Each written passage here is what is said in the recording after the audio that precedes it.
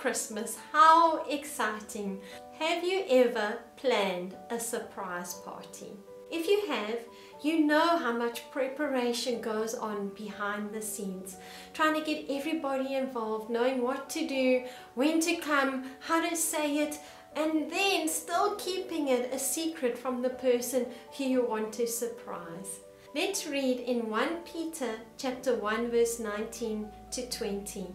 But with the precious blood of Christ, like that of lamb without blemish or spot, he was foreknown before the foundation of the world, but was made manifest in the last times for the sake of you. In Revelation 13 verse 8 it says that Jesus was the lamb slain from the foundation of the world. Do you know that God had a plan before he even said, let there be light? He knew that we would need a Savior that would have to come and rescue us from sin and death, and that was going to be the precious Lamb of God, Jesus. Before the foundations of the world, this was the plan. But you know what? The heavens, the angels, Father God, Jesus, and the Holy Spirit had to wait a very long time before Jesus could arrive.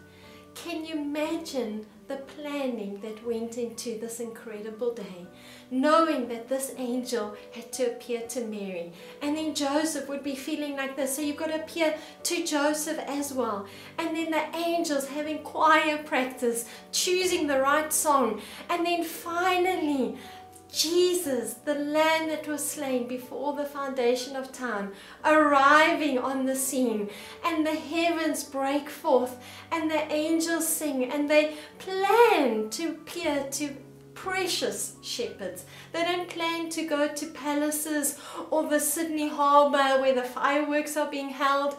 They go to humble shepherds and reveal that the Saviour of the world has been born.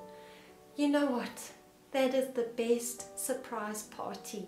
I want to invite you into that excitement this week. Put yourselves in every person's situation. What was it like to be a shepherd? What was it like to be an angel who's waited in eternity's time to now appear to mankind? What was it like to be Mary? What was it like to be Joseph? And what was it like to be Jesus, the Son of God? Knowing that finally his time had come. Enjoy this week as a family. Enjoy his presence, his peace, knowing that our Savior came and rescued us and threw the best party just for us. Remember, you are highly favored and deeply loved.